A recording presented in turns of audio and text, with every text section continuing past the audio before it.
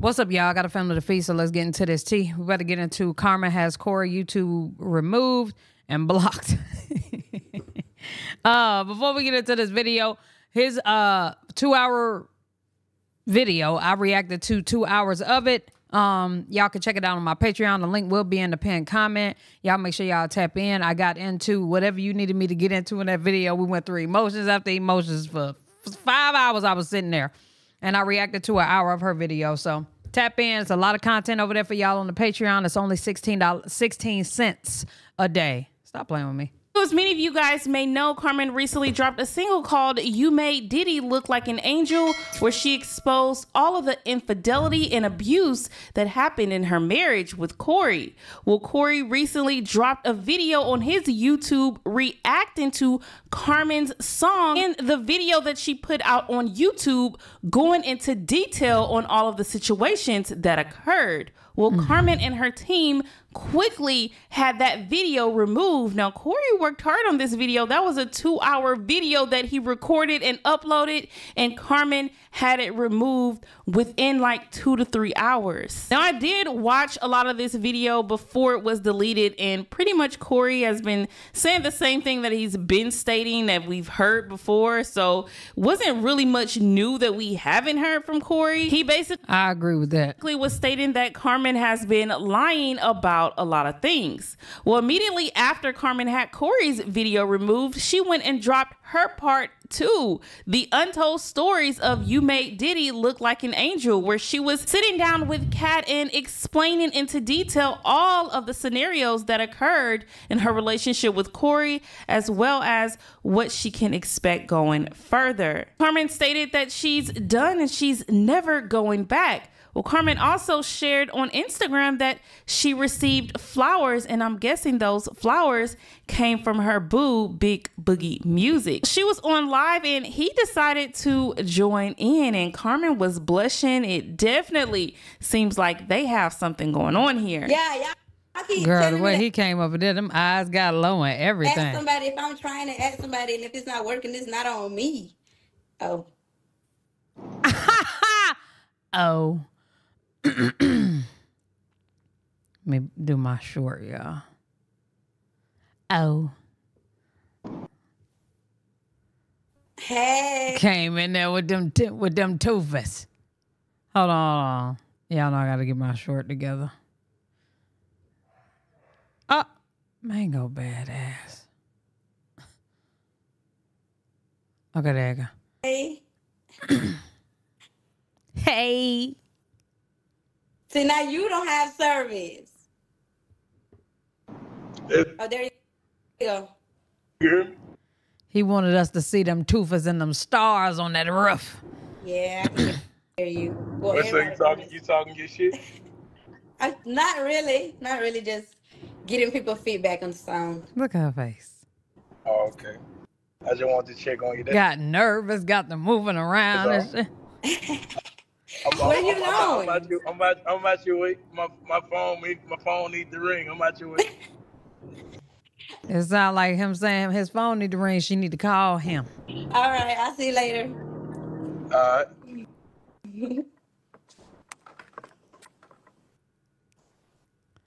That's all y'all wanted to see, right? Duh. That's exactly all we wanted to see. I'm gonna go to So Real T video because we already looked at this.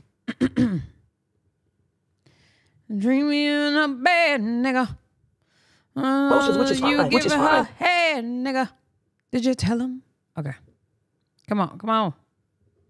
What is up, So Real Gang? How are we doing today? Let's get into the video. Yesterday, I reported that Kaya, Jazz's cousin, made a video where she stated that she's been feeling left out by FOE because this is not the first time they haven't been inviting her when they go out. Well, guys, Jazz dropped a video where she gave her point of view on how she felt about what Kaya said in her video. And guys, I totally understand. We all have to remember that Jazz and Kaya are cousins mm. and they're also not in the same age group. Jazz did no, state that Kaya is a girl and she needs to be hanging out with more females rather than wanting to hang with the guys all the time. I do think that Kaya wants the opportunity to be able to make the decision on if it's the right place for her to go or not. She's just saying that she wants to be included, but it doesn't mean she has to go all the time. As also did state that Kaya is about to get her apartment and she didn't feel like some of the trips that they go on that Kaya should even go if it's not beneficial to her and her brand. I'm Y'all know Jazz all about saving that bag, or if not saving because she spent a lot of money, but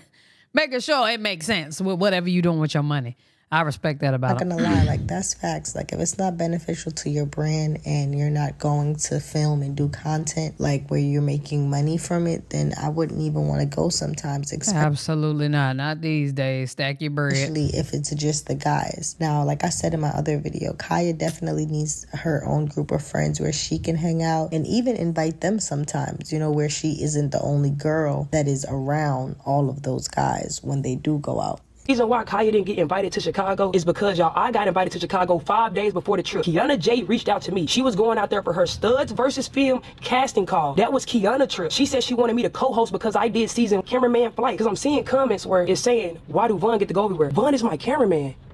I pay Bun. He's on a payroll. I pay him to be my cameraman. He has to come everywhere I go. It's his job. I Literally. pay him. Loaded came because it was beneficial 1222 in the chat. for Loaded. Loaded has free flights all year, y'all. I say this every vlog. Loaded don't even fly the same airline as us because he has free flights through United. It was beneficial for him. And since Kiana told me she was bringing her cameraman plus one, I brought my cameraman plus one because I know Loaded could just get up and go. It just made sense for him. Why would I hit my little cousin and be like, hey, um, you want to come to Chicago? It's gonna be 800 for the room for two days, and it's gonna be like a $600 flight. That's not beneficial to Lil Cuz. Lil Cuz was gonna come maybe get a vlog in. Lil Cuz wasn't doing no studio content or no major work. Y'all see all the other FOE members, they stayed back here because that made sense for them. Now, if you just want to come and spend unnecessary money and it ain't beneficial or it don't make sense for you and your brand, then you could come do that. But I don't think that made sense for my little cousin. And plus, y'all, my little cousin can't come everywhere with me. It is what it is. I'm only one person. I cannot satisfy and please everybody while I'm living and breathing on earth. No, my little cousin still won't be coming every single where with me. We in two different age brackets. Do you bring your little sister, your little cousin, your nieces and nephews everywhere with you?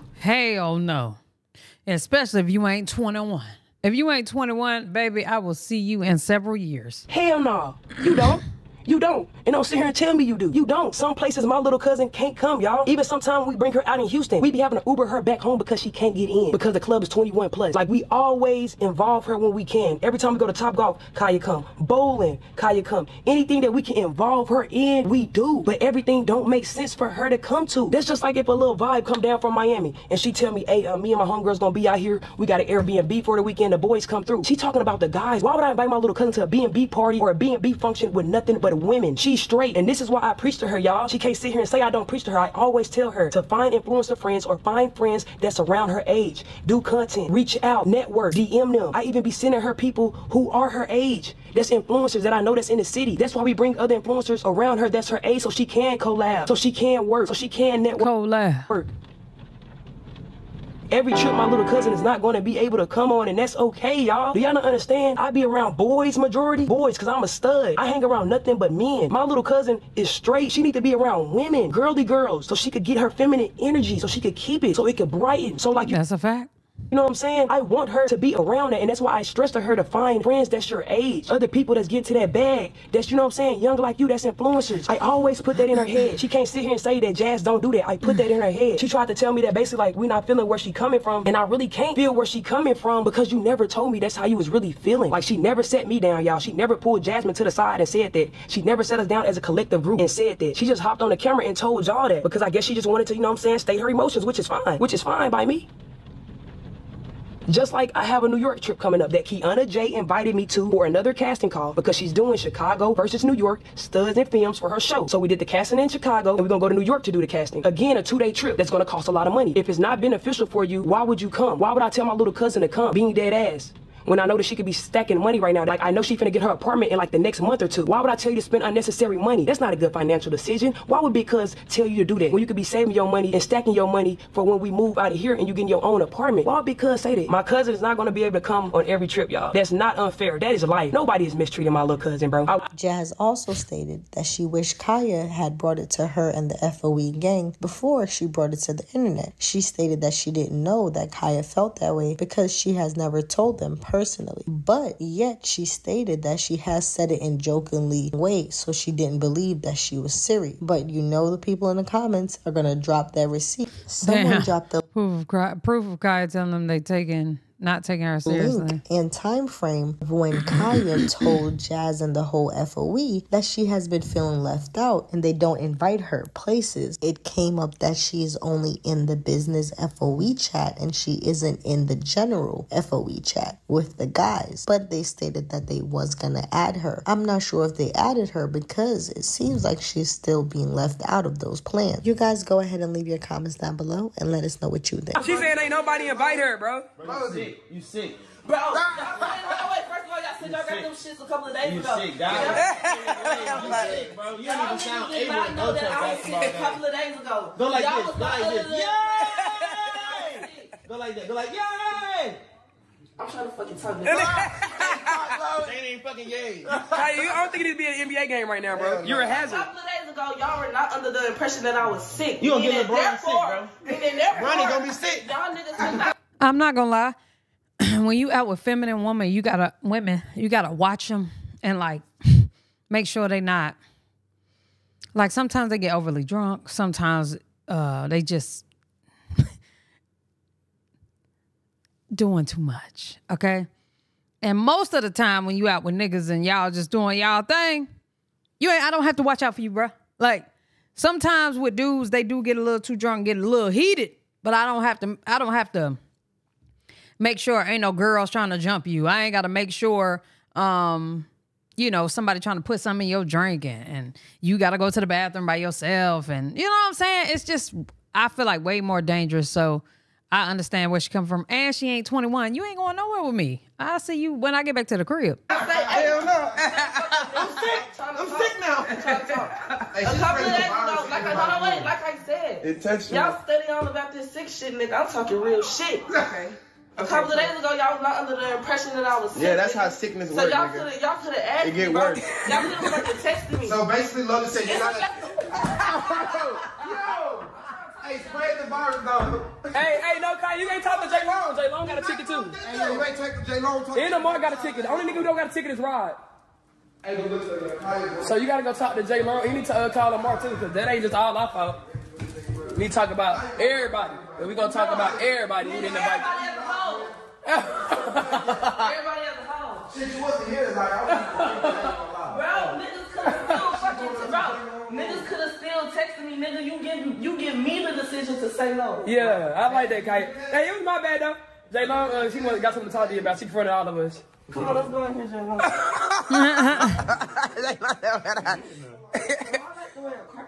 Yeah, I just begged he said, yeah. So, He's so clean. That's a clean dude. there is the NBA game, right? I told her she They said that the tickets was purchased a couple of days ago. So I said, uh, they was like, Kai, you're sick, you can't go out. A couple of days ago, y'all weren't under the impression that I was sick. Nobody sent me a text message. Hey, Kai, we going, we going to this Are you not day. We going to message? Y'all this day. Are you not in the group message? Bro, Bro. No, nigga, I'm in a fucking FOE business group. That's the one with all y'all fucking niggas. Like I fucking said. I in the main one. Like I fucking said, bro. I'm in it. I'm in I think she's really upset. let everybody know. Bro. Every, I want everybody fucking You know. want my ticket? Nigga, I'm in the FOE business group Do you want my Not ticket? Do you want You don't want to be with the niggas. Let me talk about other stuff. Do you want my ticket or no? Hell no, nigga. The day here now. So I'm, Nigga, I'm fucking. She can have my You got me coughing a little bit too, Kai. Full sentence, look at her. She can't breathe. She can have my ticket. And you got me coughing a little bit. She can have my ticket. Ever since you came back. But it's like three hundred. I've been sniffling. See, yeah, you better get on that, Jazz. You better get on that shit. That Come, Milwaukee shit. come from over around there. Step right here. Hey, Kaya, we ain't gonna forget about you. Okay, that was our fault because we was moving so fast. But next time we gonna give you the option to say no. No, I'm good. I can tell y'all niggas no. I'm feeling, I'm feeling other than women. Jordan running. I want everybody. I want everybody. Everybody gonna be in the comments. Yeah, y'all wrong as fuck. I know they are. I just said that. You know, what I'm, saying? I'm gonna take accountability to it. We was moving too fast. I forgot your ass was in New ah. York for real. Hey, I really got the day you said you was coming back. How you forget a nigga that's a part of the FOE is so fucking weird? Like, what the fuck? Twin, we didn't forget about you, twin. I forgot you was in the city. I forgot your ass was in New York. So where the fuck else would I be, bro? I just really forgot. my mind My be mind. I, I've been, I've been here, there, there. I've been road running every day, twin. It's my fault though. You know what I'm saying? Yo, yo, next, the next NBA game we go to, yo, ticket on Jordan. Oh, they ain't even inviting us to the NBA game. I get it. I get it. And he's a bunch of single niggas like, um, no, not about to, no. She needs some friends. Hey, bro, can I drink all of this or is this too much? Huh? Can I of this or is this too much? Uh, I say down at all. Would never let nobody around me mistreat my little cousin. Her mama sent her down here to be up, up under me. Why would I let anybody mistreat her? And then let's move on to the money thing. She say when it's time for us to hit her about the bills, that's when we hit her. I mean, you live in the crib. You stay here. You have to pay rent. You have to pay bills. I mean, that's a part of adulthood. I didn't have Kaya since she was 15. Kaya and Amara moved into my old crib at Tamara Branch, January of 2021. She was 15. Kaya is now 19 years old. The entire time at Tamara Branch, I made sure nobody paid rent except me. Anybody that was staying at the old crib never paid rent because I wanted everybody to stack their bread and be ready to when we moved into the next crib, which is the crib now. I can call Lamar and confirm Smart. This is a solid nigga right here. because he stayed there. Y'all know everybody who stayed in the old crib. Jazz was the only one paying that rent, so I let everybody get themselves together and stack their bread, stack their bread, stack their bread. Like I said, Kaya been in that crib with me since she was 15. She's 19 years old now. We just moved in this crib November 1st of 2023. Y'all do the calculations. She just started paying bills. She just started paying rent. So let me call my best friend who is staying with me also and ask him who was paying the rent. It's never about money with Now we gotta call people. Hello.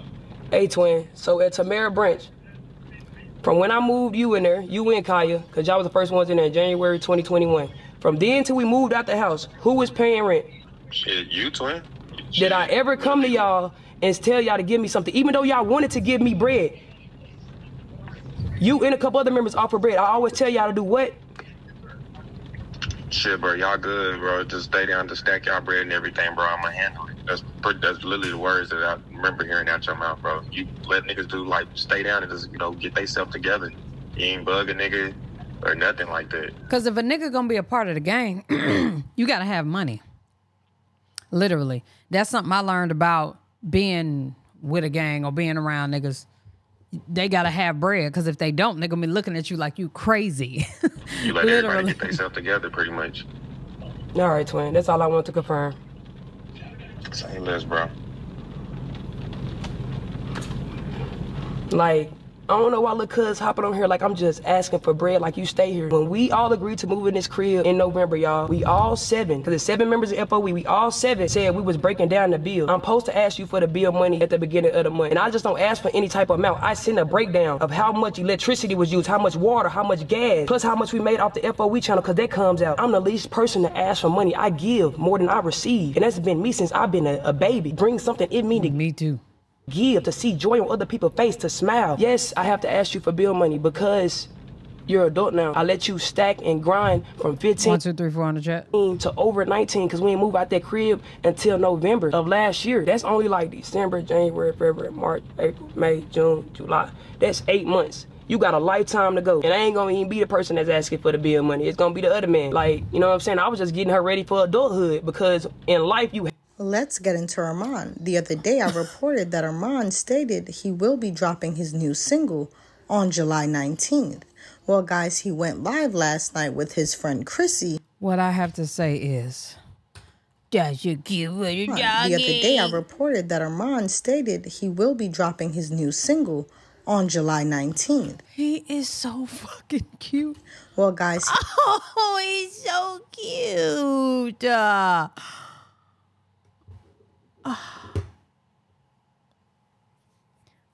I want a Yorkie. I think my friend just sold out of all her Yorkies. Honey shots wouldn't let me get one. But anyway, y'all know I'm done with this video. Let me know what y'all think down in the comment section below. Love y'all. Appreciate y'all. Hey.